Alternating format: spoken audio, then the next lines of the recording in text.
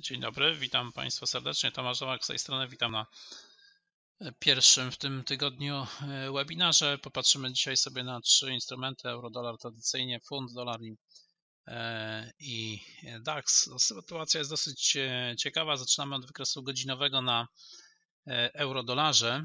Mm, po wyjściu w tamtym tygodniu z konsolidacji, zrobieniu ruchu praktycznie co do PIPSA i zakresu wybicia po ruchu, który był zakresem wybicia mm, e, po wyjściu z konsolidacji 1.30 osiągnięte w piątek.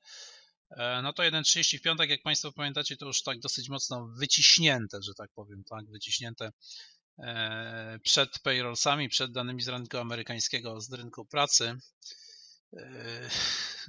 Godzina 12, 13, minimum na 29,96.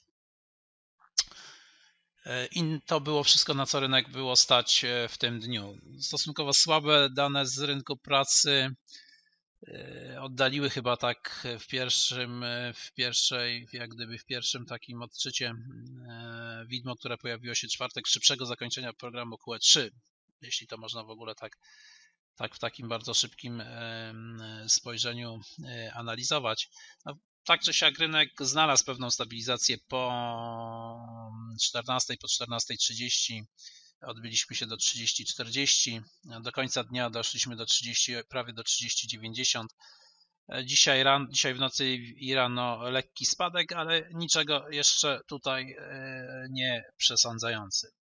Proszę Państwa, dzisiaj na rynku mało informacji makroekonomicznych, więc nie one będą sterowały mm, e, rynkami. Popatrzmy więc na to przez czysty pryzmat dzisiaj, e, przez czysty pryzmat e, techniczny. Moim zdaniem to odbicie od poziomu okrągłego 1,30, od poziomu, który był zakresem docelowym wybicia z konsolidacji 1,30 powoduje, że poziom 1,30 w tej chwili jawi się jako dosyć mocne lub nawet bardzo mocne wsparcie.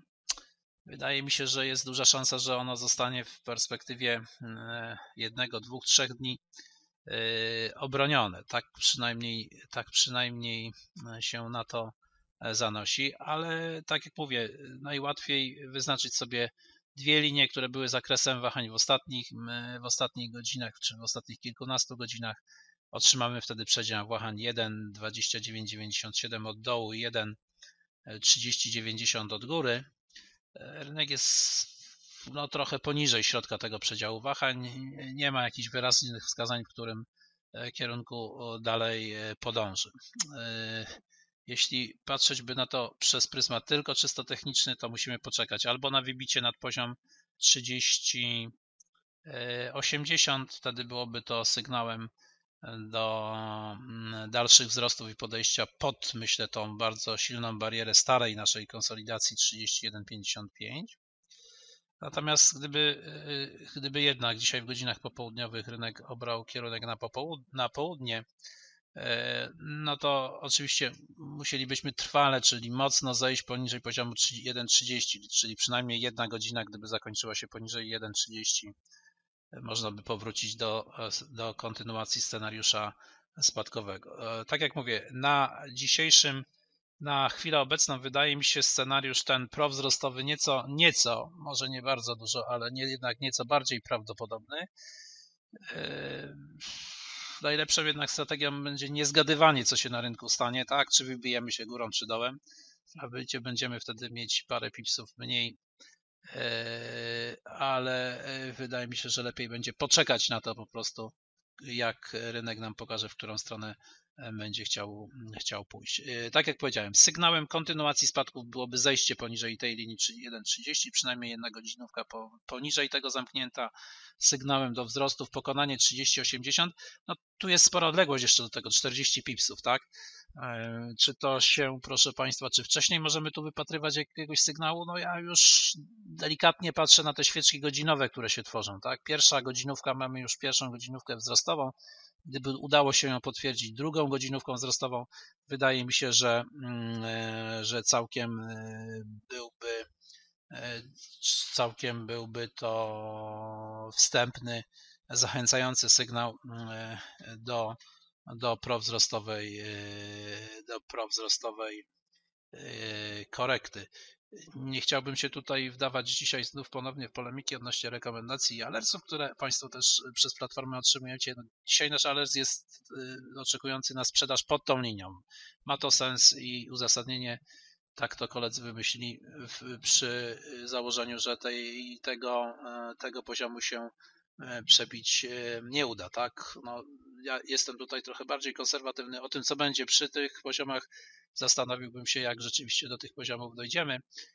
Test tej linii, krótko mówiąc. Wyjście na tą linię, myślę, wyjście na tą linię będzie ewidentnym sygnałem siły rynku i możliwości podejścia wyżej w kierunku 31,50, gdyby się tutaj, gdybyśmy podeszli i z trudem lub nie udało się przebić tej linii, to oczywiście możliwość kontynuacji spadków w granicach 1,30 znów się na rynku e, zarysuje. E, spójrzmy na wykres 4-godzinowy, jak to wygląda. Oscylator w środku jeszcze daje możliwość ruchu i w jedną i w drugą stronę bez większego problemu. No, ta świeczka, która się rysuje nam tutaj 4-godzinowa, taki, taki młotek dolny zachęcająca. Brakuje nam jeszcze godziny, zobaczymy jak to się Mm, jak to się e, domknie. Na wykresie dziennym jeszcze popatrzmy. O, a wykres dzienny powoli już pokazuje wyprzedanie rynku, tak? Więc proszę Państwa, też wprawdzie tu świeczka póki co czarna, ale gdybyśmy dzisiaj wyszli nad tą linię, o której mówiliśmy 30-90, to i ta świeczka dzienna będzie dzisiaj znacznie bardziej, e, znacznie bardziej e, zachęcająca. Krótko mówiąc, Proszę Państwa, wydaje mi się, że jest jakiś potencjał do wykonania e, delikatnej korekty, co najmniej delikatnej korekty w górę. Mamy e, wyraźne poziomy, linie czerwone tutaj na wykresie, które będą nam pomagały ewentualnie podjąć decyzję, czy do tych ruchów się dołączyć, czy nie. Pan Robert prosi mnie, żebym spojrzał na wykres miesięczny, tylko w jakim kontekście Panie Robercie, w kontekście tego, że ten miesiąc zaczął się spadkowo i pojawia się czarna świeca i że mamy tu 50%, e, praktycznie 50% skali spadku całej tej fali e, z ubiegłego roku skorygowane, tak? Może, może w tym, e, w tym układzie no, sam wykres liniowy nic nam tutaj nie, sam wykres liniowy nam tutaj nic nie, nie zmieni. Nie chciałbym tutaj już bardzo się yy, wchodzić w szczegóły. Jeśli na koniec nam trochę czasu zostanie, to, po, po, pozwolimy sobie jeszcze tutaj powrócić do tego wykresu. Na razie pozostańmy przy tej interpretacji, którą Państwu pokrótce zarysowałem. No, zaczyna nam się ta druga godzinówka też jakoś obiecująco E, e, jakoś obiecująco, mm, obiecująco e, rozwijać, tak. Kończąc jeszcze wymianę myśli z panem Robertem, no jest wzrost 1,20, była po drodze korekta, tak, jest, ale wie pan, no nikt nie, nie wyklucza to sytuacji, że możemy pojechać i, i znacznie dalej. Dwa lata temu spadaliśmy z poziomu 1,50 do 1,20 30 figur i jazda też była praktycznie bez żadnej e, korekty. E, spojrzymy jeszcze na koniec na wykres euro-dolara, jak on się tutaj będzie rozwijał. Na razie, tak jak mówię, obiecująco. E, obiecująco też i dlatego Państwu pokazałem, chciałem pokazać dzisiaj sytuację na funcie. Funt w, ubiegłym, w ubiegłych tygodniach został jeszcze bardziej zmasakrowany niż euro-dolar. E, początkowo wychodził nad tą naszą linię, tutaj Państwo pamiętacie, tą linię 1,63, pokazał się tu piękny, e, piękne fałszywe wybicie na tej świeżce dziennej, tak, czyli praktycznie z poziomu 64 przesunęliśmy się do poziomu 1,64 figury, trochę więcej niż na eurodolarze i na niskich poziomach pozostajemy. Tutaj również na funcie możemy wyraźnie zarysować sobie w oparciu o szczyty z piątku i dołki z piątku taką konsolidacyjkę między 60-80 a 1,60-10. No i proszę Państwa, z racji na to, że ten spadek jest naprawdę spory, mm, potencjał, równocześnie ten poziom pokrywa się z poziomem mniej więcej dołków z końca grudnia, wyjście nad ten poziom, czyli nad poziom 60-80 byłoby całkiem, e, całkiem obiecującym całkiem obiecującym sygnałem ewentualnego czy możliwości zajęcia pozycji, e, pozycji długiej. Popatrzmy sobie z punktu widzenia Fibonacciego, jak to wygląda. Fibo, FIBO. Musi nam się tutaj odpalić FIBO. Ale nam się troszkę nie chce odpalić.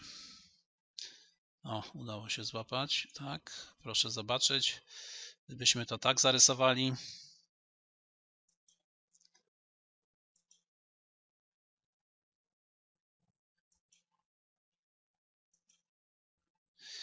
No, mam małe problemy z, z narysowaniem dla Państwa tego FIBO ze względów jakichś tutaj mało, mało sensownych to FIBO nie chce mi się odczepić. Zaraz spróbujemy sobie jeszcze raz z tym raz poradzić.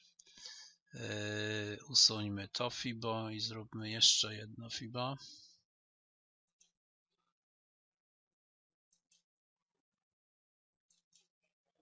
Proszę Państwa, ja przytrzymam, Państwo zobaczycie, że 50% zniesienia jest na poziomie 1,62, tak, żeby już tu nie przedłużać sprawy rysowania tego poziomu, więc nawet e, na poziomie 1,62 50% zniesienia całego tego ruchu, gdyby to wyjście tutaj nad 60-80 było, mm, było udane, znów jako udane traktuję wyjście co najmniej jedną świeczką nad ten, e, nad ten poziom,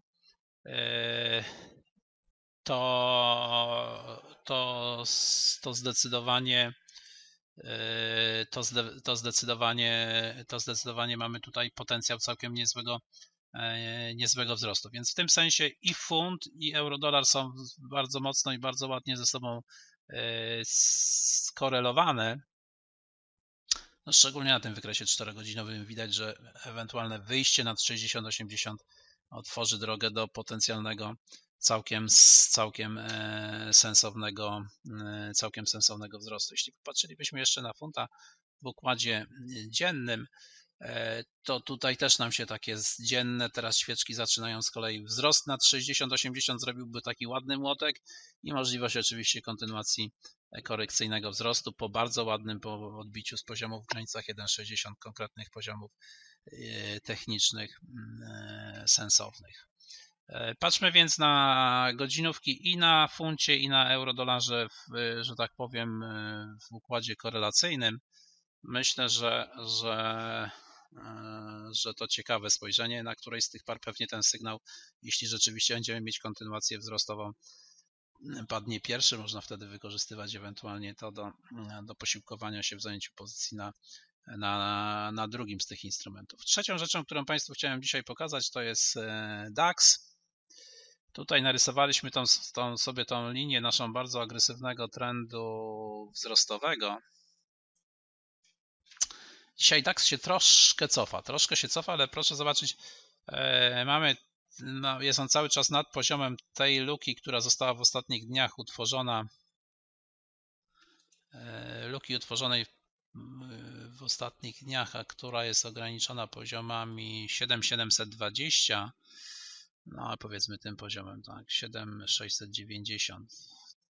W tym obszarze DAX się znajduje i wydaje się, że no powoli się tutaj kształtuje taka sytuacja mm, ostatecznego rozstrzygnięcia. Tak, na razie DAX jest wysoko, ale niepokojąco zaczynają, niepoko, niepokojące pojawiają się oznaki słabości mm, na tym rynku. Wydaje mi się, że e, powinno się jeszcze mimo wszystko udać ten poziom 7700 obronić z dwóch mm, powodów. 7700 to jest e, raz poziom luki, wchodzimy w zakres e, luki wzrostowej. Drugi, drugi element to właśnie ta wzrostowa linia trendu.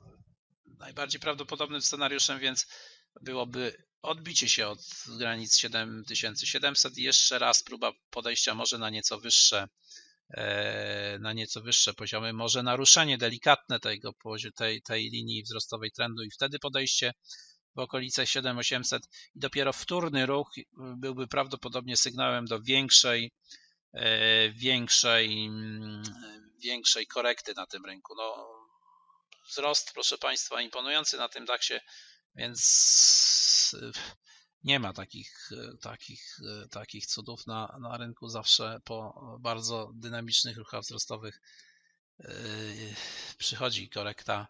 Kwestia tylko mm, kiedy. Przychodzi ona najczęściej wtedy, kiedy najmniej z nas się tego spodziewa. Ja spodziewałbym się jej, tak jak mówię, dopiero po, po obronie tych okolic 7700, wyjściu w górę i wtórnym podejściu i wtórnym spadku niżej. Prawdopodobnie byłby to, byłoby to za, za kilka tygodni, dwa, trzy tygodnie, być może w lutym. E, być może fundamentalnie zbiegłoby się to z e, rozpoczęciem albo z kontynuacją dyskusji, czy, czy apogeum dyskusji o mm, e, klifie, nie o klifie fiskalnym, tylko o limicie zadłużenia w Stanach Zjednoczonych. Myślę, że to byłaby dobra okazja do wywołania korekty spadkowej na giełdach. No, koryguje się również WIG20, jak Państwo, zobacz, jak Państwo pewnie tam obserwujecie sobie na, mm, na bieżąco. Jest dosyć całkiem spora korekta tego WIG20. Standard Poor trzyma się stosunkowo wysoko, ale, ale proszę Państwa, jest to taka, takie utrzymywanie pozycji dosyć e, chwiejne. Też wyjście poniżej poziomów 1445 e, może zainicjować wyprzedaż na tym rynku. Na razie dosyć, dosyć udaje się te poziomy wyższe utrzymać, natomiast nie mamy poziomów, jakby trudno jest pokonać te poziomy rekordowe. Wprawdzie indeks jest już na wyższych poziomach, ale w kwotowaniach e, kontraktów, które tutaj widzimy, ten szczyt jeszcze jest pokonany nie został. Cały czas balansujemy gdzieś w okolicach e, tego szczytu. Kiepskie notowania, kiepskie notowania na WIG-u 20 przekładają się, proszę Państwa, na korektę dosyć znaczącą i przedłużającą się na, mm, na złotym. No proszę zobaczyć, jak tu sytuacja na tym złotym y, nam wygląda. Oczywiście na euro złotym dotarliśmy do bardzo istotnego poziomu oporu, który gdzieś tu jest w okolicach 4,13, 4,13, 50, tak? Pokonanie tego poziomu pewnie dałoby możliwość co najmniej z 4 groszy podejścia wyżej, może 3-4 groszy podejścia wyżej, ale wtedy zdaje mi się, że euro-dolar byłby poniżej 1,30. Na razie od tego poziomów dosyć znacząco się odbijamy. Na razie nie widać tej możliwości przejścia znacząco wyżej, ale tak jak wielokrotnie Państwu tu już sugerowałem, korekta czy znamiona korekty na, mm, e, na indeksie WIG20 prowadzą też do e, osłabienia złotego. No mamy też wyjście z obligacji, rentowność obligacji nieco wyższa, więc to się wszystko na to mm, przekłada.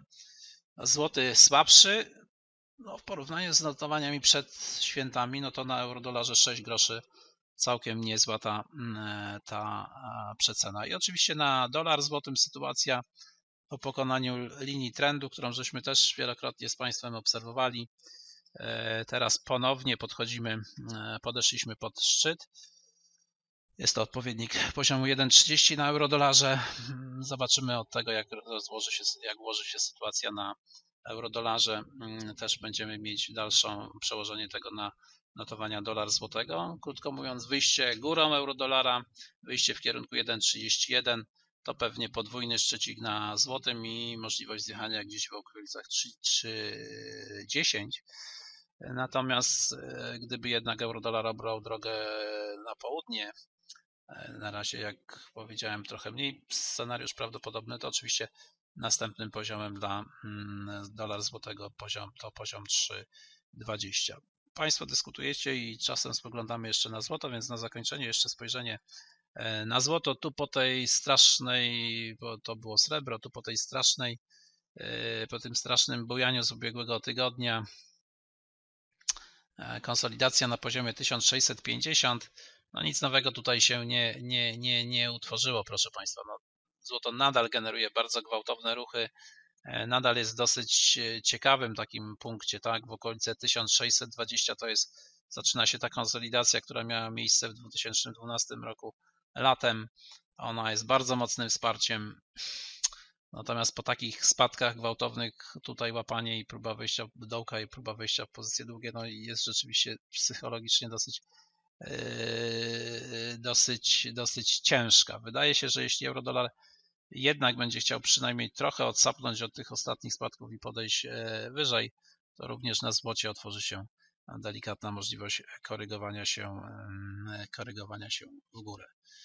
Spójrzmy jeszcze na euro-dolara na zakończenie, bo już mniej więcej mamy naszą, nasze view ukształtowane. No, druga świeczka godzinowa też zaczyna nam tutaj coraz bardziej ciekawie Y, coraz bardziej ciekawie wyglądać, więc być może z tej korekty rzeczywiście coś nam się tutaj e, ciekawego mm, e, utworzy. Patrzymy na możliwość wygenerowania tej korekty. E, oczywiście scenariusz korekcyjny zawiesimy, jeśli rynek spadnie poniżej poziomu 1,30. To tyle, proszę Państwa, na dzisiaj. W takim troszkę przyspieszonym tempie postaram się dla Państwa teraz te webinary prowadzić. Dziękuję. Dziękuję bardzo dzisiaj za uwagę. Zapraszam tradycyjnie na następny webinar już w środę. Dziękuję dzisiaj za uwagę. Do usłyszenia.